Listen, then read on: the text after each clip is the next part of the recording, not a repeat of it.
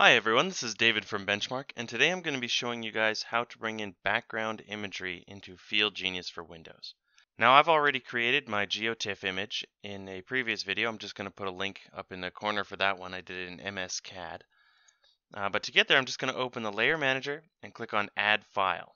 Then in the Select File dialog, I'm just going to change the file type to a TIFF image, and I'm just going to go ahead and navigate to the spot where I saved that image.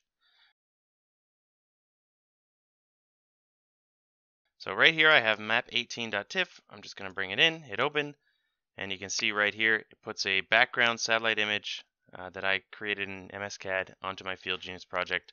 I can go ahead and survey. That point number one is exactly where I am. It's already geo-referenced and we're good to go. If you thought today's video was helpful, don't forget to like the video, comment on the video what you thought, and subscribe to the channel for more helpful tips. Uh, if you ever need any help, feel free to give us a call at 1 888 286 3204 or visit us on the web at www.bench-mark.ca. Thanks for watching. Have a great day.